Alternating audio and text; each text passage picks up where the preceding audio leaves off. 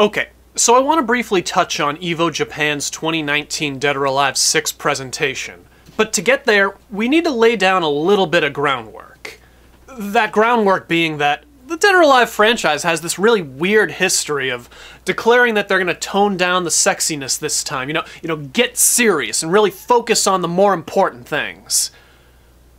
But but then at the last minute just kind of going actually Dead or Alive 5 was a game built from the ground up with a brand new engine, and Team Ninja declared early that it was a good time to re examine the franchise and maybe take it in a new direction. They wanted to tone down the sexiness that had been a staple of Dead or Alive for well over a decade. You know, try and scrape off some of that thin, sticky film that's acted as a barrier for a lot of gamers. Dead or Alive 5 producer Yosuke Hayashi we're trying to focus on the real women that surround us, the voice of a female, the mannerisms. We are being realistic about it. We want to show something that's more high class, that adult males of our generation could look at a woman character and be impressed with her as a woman, not just as a pinup. Combined with guest characters from Virtua Fighter and their I'm a Fighter marketing campaign, yeah, it, it looked like Dead or Alive 5 was on the right track to all the team wanted to do was create the cutest chicks in video games. And bikini pre-order bonus costumes!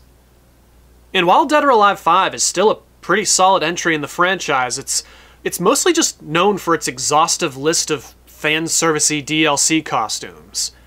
And, and I cannot undersell my use of the word exhaustive. Just, just look at all that. That, that's like a thousand bucks of DLC right there. Friggin' Christ. I, I, I cannot believe we're still scrolling. This... Th this is ridiculous. Uh, okay, but, but like, seriously, can we... No, really, can we, can we just stop? I think they get the point. Cut to late 2018. The development of Dead or Alive 6, and we're right back where we were. Brand new engine, Team Ninja wants to be taken more seriously, toning down the sexiness. This time the aim was to be more accessible and compatible with esports. Got, gotta get that esports money.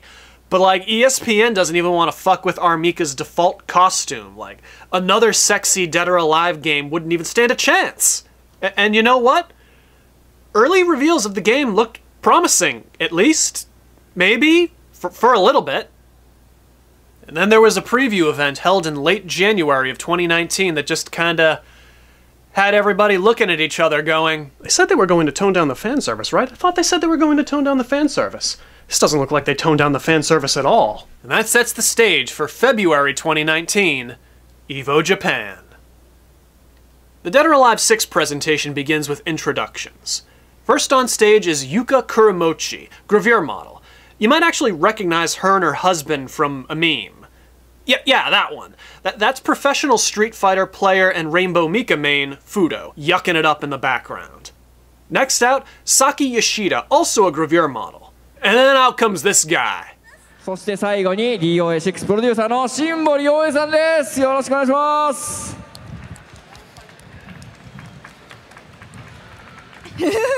あれ、バイマン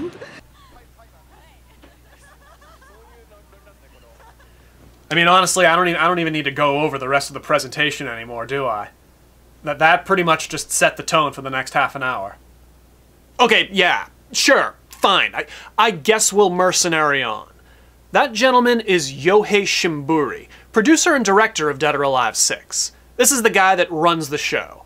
Right off the bat, you can see that Yuka and Saki have a natural presence on stage. They're they're just a blast to watch. The two of them look like they're having so much fun. They're there to hype this game, and friggin' Christ, they've got their working boots on.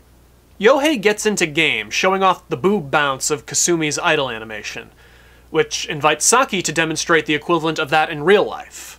とか、本当に立ってかがんだ時のさっきねあのカメラで映ってなかったからかが鏡モーションの時のここですよこここれがね本当にこれがリア ルな揺れなんですけどこのリアルさに負けないぐらいのね They show off a free camera mode, pausing the action to mostly just look at boobs and butts. You know, like you do. Then they get to the part where they pose Bass, power bombing the Tengu girl, and then move the camera to make it look like You know, a- and everyone friggin' loses their shit.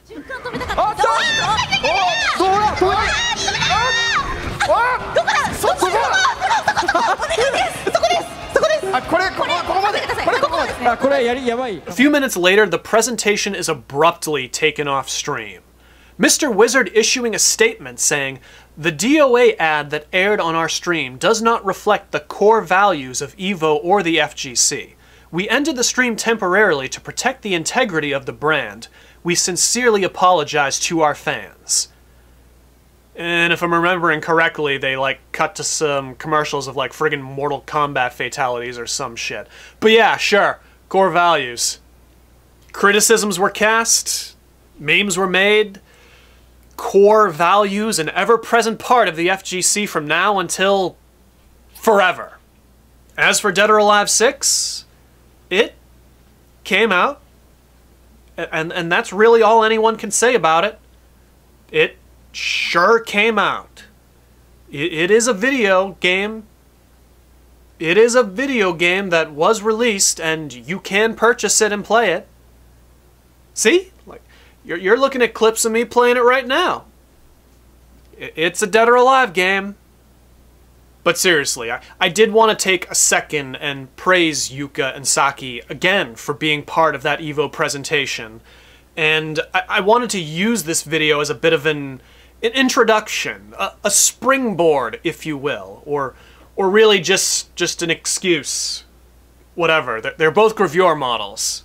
And you know, I've reviewed a few gravure productions on this channel, and and and they they have gravure DVDs. Do you do you see see where this is go? Yeah, I'm gonna review each of their DVDs. Get hype!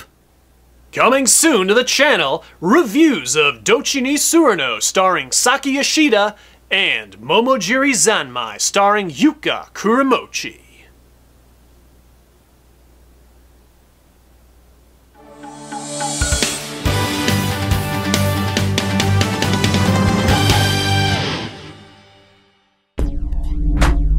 We await your return, warrior.